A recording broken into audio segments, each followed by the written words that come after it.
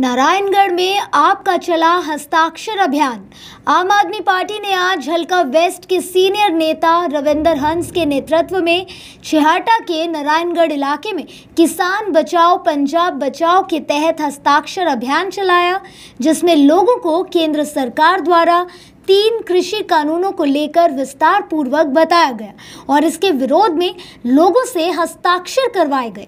इस मौके पर कुलवंत सिंह वडाली, वरुण राणा, रोहित शर्मा, राकेश कुमार, अरुण कुमार, प्रतपाल सिंह, मैडम ममता, मोतीलाल, विक्रम सिंह, हरीश बब्बर, अमृतपाल सिंह, सरबजीत सिंह, सोहन सिंह आदि कई लोग मौजूद रहे। आज नारायणगढ़ चौक विधानसभा का बेस्ट ਦੇ ਵਿੱਚ ਆਮ ਆਦਮੀ ਪਾਰਟੀ ਵੱਲੋਂ ਕਿਸਾਨਾਂ ਦੇ ਖਿਲਾਫ ਜਿਹੜਾ ਇੱਕ ਬਿੱਲ ਆਇਆ ਹੈ, ਉਹਦੇ ਵਿਰੋਧ ਦੇ ਅੰਦਰ ਅਸੀਂ ਹਸਤਾਖਰ ਮੁਹਿੰਮ ਦੇ ਤਹਿਤ ਕੈਂਪ ਕੈਂਪ ਲਗਾਇਆ ਹੈ।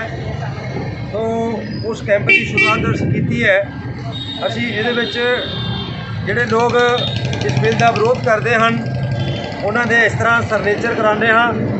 ਔਰ ਇਸ ਦੇ ਨਾਲ ਨਾਲ ਜਿਹੜੇ ਸਾਡੇ ਕਿਸਾਨ ਵੀਰ ਹੈ, ਉਹਨਾਂ ਨੂੰ ਅਸੀਂ ਇਹਦੇ ਵਿੱਚ ਟ੍ਰੇਨਿੰਗ ਵੀ ਦਿੰਦੇ ਆ ਬੁਲਾ ਕੇ, ਜਿਸ ਤਰ੍ਹਾਂ ਕਿ ਗ੍ਰਾਮ ਗ੍ਰਾਮ ਸਭਾ ਬੁਲਾਓ, ਪਿੰਡ ਬਚਾਓ, ਪੰਜਾਬ ਬਚਾਓ, ਔਰ ਪੰਚਾਇਤਾਂ ਦੇ ਮਤੇ ਪਾ ਕੇ, ਕਿਉਂਕਿ ਪੰਚਾਇਤ ਇੱਕ ਮਿੰਨੀ ਪਾਰਲੀਮੈਂਟ ਹੈ, ਤਾਂ ਉਹ ਬਕਾਇਦਾ ਸਰਕਾਰ ਨੂੰ ਔਰ ਜਿਹੜਾ ਪ੍ਰਸ਼ਾਸਨ ਨੂੰ ਔਰ ਰਾਸ਼ਟਰਪਤੀ ਦੇ ਨਾਂ ਤੇ ਭੇਜਣੇ ਆ ਇਹ ਸਾਡੀ ਡਿਊਟੀ ਪਾਰਟੀ ਦੇ ਰਾਸ਼ਟਰੀ ਕਨਵੀਨਰ ਅਰਵਿੰਦ ਕੇਜਰੀਵਾਲ ਜੀ ਨੇ ਲਗਾਈ ਹੈ।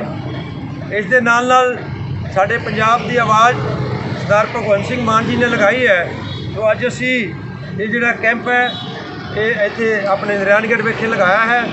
ਤੋਂ ਜੋ ਇਹ ਕਾਲਾ ਕਾਨੂੰਨ ਪੰਜਾਬ ਦੇ ਕਿਸਾਨ ਮਾਰੂ ਨੀਤੀਆਂ ਦੇ ਖਿਲਾਫ ਹੈ, ਜਿਸ ਤਰ੍ਹਾਂ ਕਿ ਅੱਗੇ ਕੇਂਦਰ ਨੇ ਜਿਹੜਾ ਕਾਨੂੰਨ ਲਿਆਂਦਾ ਹੈ ਨੋਟਬੰਦੀ ਜੀਐਸਟੀ ਔਰ ਉਹਦੇ ਨਾਲ ਵਪਾਰੀ ਇੰਡਸਟਰੀ ਸਾਰੀ ਫੇਲ ਹੋ ਚੁੱਕੀ ਹੈ।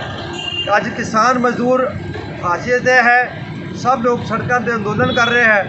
ਇਸ ਬਿੱਲ ਦੇ ਵਿਰੋਧ 'ਚ ਅੱਜ ਅਸੀਂ ਅ, ਨਾਰਾਇਣਗੜ੍ਹ ਵਿਖੇ ਇਹ ਕੈਂਪ ਲਗਾਇਆ ਹੈ ਔਰ ਸਾਡੇ ਸਾਰੇ ਹੀ ਵਲੰਟੀਅਰ ਪਾਰਟੀ ਦੇ ਕੇਜਰੀਵਾਲ ਸਾਹਿਬ ਭਗਵੰਤ ਮਾਨ ਜੀ ਦੇ ਹੁਕਮਾਂ ਦੀ ਪਾਲਣਾ ਕਰਦੇ ਹੋਏ ਇਸ ਕੈਂਪ ਨੂੰ ਕੈਂਪ ਨੂੰ ਮੁਹਿੰਮ ਨੂੰ ਲਗਾਤਾਰ ਅੱਗੇ ਵਧਾ ਰਹੇ ਨੇ। ਇਨਕਲਾਬ ਇਨਕਲਾਬ। ਜਿੰਦਾਬਾਦ। ਧੰਨਵਾਦ।